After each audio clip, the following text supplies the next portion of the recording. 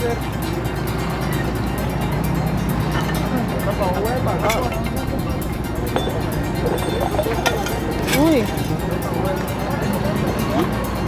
Un hombre perdió la vida al sufrir un accidente de tránsito registrado en la vía que del municipio de San Alberto conduce a La Mata, jurisdicción del municipio de Aguachica, Cesar. Se trata de José Iván Medina Ruiz, de 40 años, el cual se transportaba como acompañante de un camión de placas SSL 237, cuyo conductor chocó contra un vehículo similar de placas SNN 184. Medina Ruiz, quien inicialmente quedó malherido, fue auxiliado por parte de la ciudadanía, siendo llevado a un centro asistencial cercano y posteriormente trasladado a la clínica Erasmo de Valledupar, en donde finalmente falleció. Por lo anterior, las autoridades de Policía de Tránsito y Transportes del Cesar llegaron al centro de salud e hicieron una inspección técnica al cadáver y lo trasladaron a la morgue del Instituto de Ciencias Forenses de Medicina Legal en la capital del Cesar para la necropsia de rigor.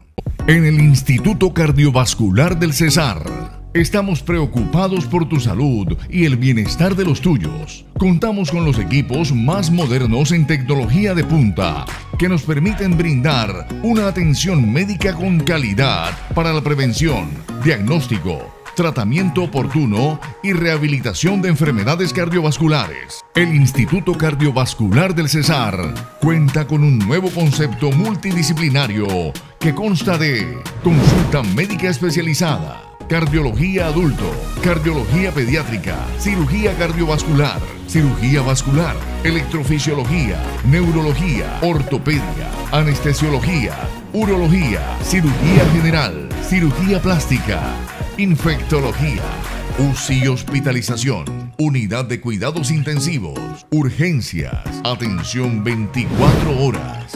Instituto Cardiovascular del Cesar, por el corazón del valle.